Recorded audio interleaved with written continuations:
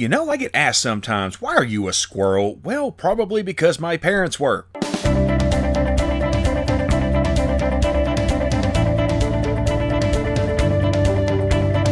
Hey folks, welcome to This Week in History. Let's boot, scoot, and boogie on along. On August 30th in 1791, the HMS Pandora sank after running aground on the Great Barrier Reef. The Pandora was carrying mutineers from the Bounty to face trial in England, four of whom died. For more information on the Bounty mutiny, check out that eye up there. On August 31st in 1056, Byzantine Empress Theodora died, and since she was childless, ended the 200-year Macedonian dynasty. Her successor was Michael Michael VI, who exactly one year later in 1057 abdicated the throne. In 1422, England's Henry V died in France of dysentery. Yeah, that wasn't just an Oregon Trail thing, being replaced by his nine month old son Henry VI. Fun fact Henry VI's maternal grandfather was Charles IV. Man, I hope that's a hat. King of France, who died shortly after Henry V, making a not yet one year old, technically king of both England and France. He's actually the only English monarch to be crowned as king of both countries. I wonder if his first royal decree was to discover how his wet nurse disappeared every time she covered her eyes.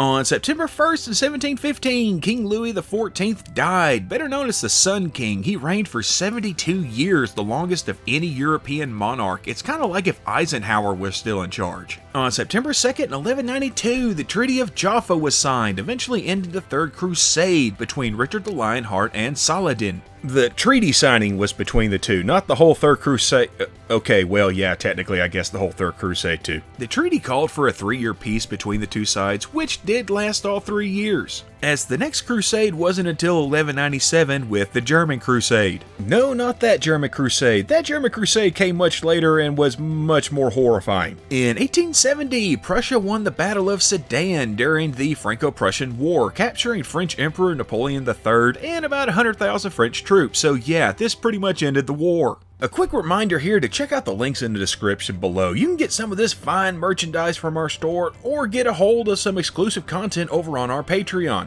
Okay, now moving along. On September 3rd in 301, San Marino, the oldest still existing republic and one of the smallest countries in the world, was founded. To give a size comparison, San Marino, which is landlocked in Italy by the way, is roughly the same size as the city of Nacogdoches, Texas. In 1658, Oliver Cromwell, Lord Protector of England and the guy that helped outlaw Christmas, but hey, he also overthrew the king and ran the country for five years, died. He was replaced by his son James. On September 4th of 1781, Los Angeles was founded as, yeah, I'm not gonna read that, it'll be at the bottom of the screen, but it means the village of Our Lady, the Queen of the Angels. And fun fact, it originally consisted of 44 settlers. In 1870, Emperor Napoleon III of France was deposed. Remember, he was captured by the Prussians two days ago, and the Third Republic was established. It lasted until World War II. On September 5th in 1666, the Great Fire of London finally ended after five days. 10,000 buildings were destroyed, which included the original St. Paul's Cathedral, but only six deaths, so, you know, that's a plus. In 1698, Tsar Peter I of Russia, better known as Peter the Great, imposed a tax on beer beards for all men except for the clergy and peasantry. Yeah, they were actually called peasants. The whole idea was to westernize Russia, seeing as beards weren't exactly all the rage in the rest of Europe. In 1793, the French National Convention began the Reign of Terror, which was responsible for the execution of about 17,000 people with another 10,000 or so dying in prison. The French Revolution really was something else.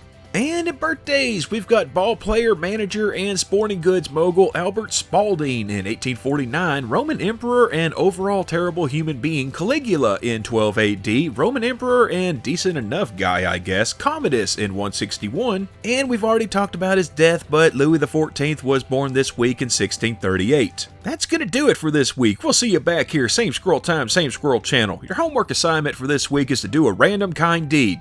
Pitter patter.